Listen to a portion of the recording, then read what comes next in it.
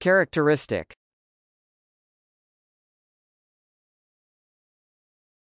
Characteristic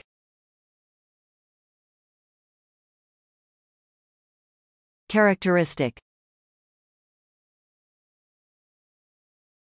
Characteristic can be an adjective or a noun. As an adjective characteristic can mean, being a distinguishing feature of a person or thing. As a noun characteristic can mean, 1. A distinguishing feature of a person or thing. 2. The integer part of a logarithm.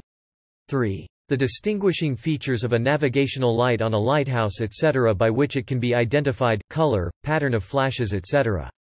4. For a given field or ring, a natural number that is either the smallest positive number n such that n instances of the multiplicative identity 1, summed together yield the additive identity 0, or, if no such number exists, the number 0. And is an important characteristic of n-body systems.